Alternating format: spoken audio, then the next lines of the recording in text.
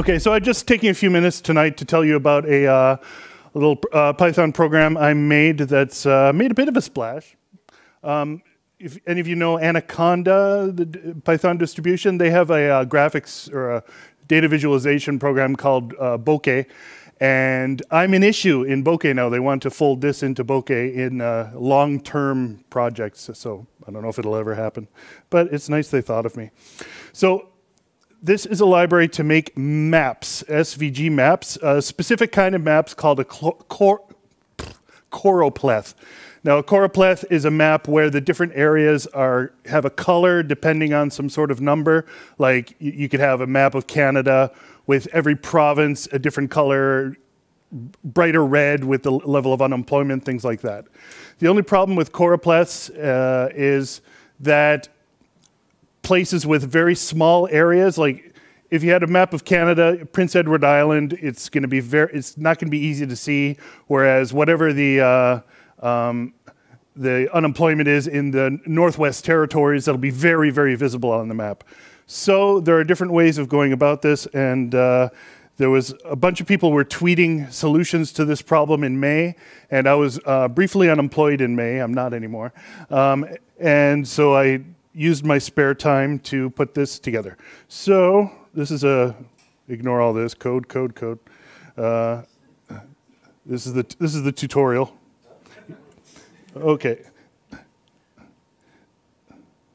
I don't know where the page down button is on a Mac. Okay, well, so here's one possible uh, solution. You just make every, uh, every, this is for the states because, you know, they have more people, so I put them on the top. Um, every state is a different, uh, is, a, is a square, and so every, every uh, no, states with smaller areas are not emphasized. Um, and you can see this is a percent of the population that's moved or that's living in the same place as a year ago. So you can see in New England, people tend to stay the same place.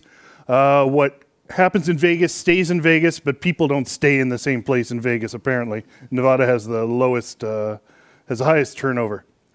And there's different uh, um, layouts you can have for that. Here's an interesting one. Uh, it's hexagons. Hexagons fit together a little nicer.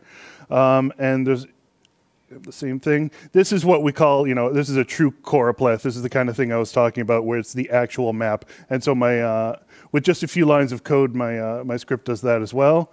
Uh, this is an interesting one someone on Twitter came up with that I implemented. Every state is four hexagons. So you can see you can kind of get more of the shape of the United States, uh, but with uh, the areas with more states are a little more emphasized. Uh, moving right along. Here's every county in the United States. Don't worry, we're getting to Europe and Canada pretty soon.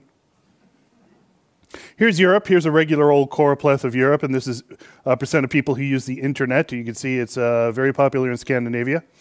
Um, and I made this hexagon map of Europe. It still, you know, vaguely resembles Europe, I think.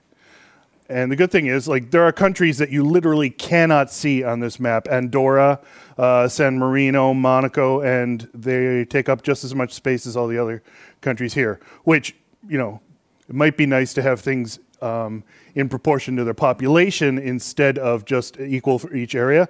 And that's what brings me down to Canada. This is um, Canadian federal ridings, the new 338 federal ridings that are in place for this election for the first time. And the good thing about federal ridings is they're all pretty much the same population. So this becomes a map of Canada of each square equal population. And isn't it interesting? I think it's interesting. You can really see how much Southern Ontario contributes to uh, the total population of Canada. It's uh, like 35 to 40 percent. Uh, Quebec is still respectable, but of course, northern Quebec disappears entirely. Uh, and, look, and of course, the territories are just one blob each. So this is the, all the different ridings. You can put them together. If you just want to do things by province, you put it together like this. I'm making one currently for with hexagons, and boy, is it difficult. It's like fitting hexagons together. I've been doing it for a few days, and I'm about to go mad. no, that is all. Thank you.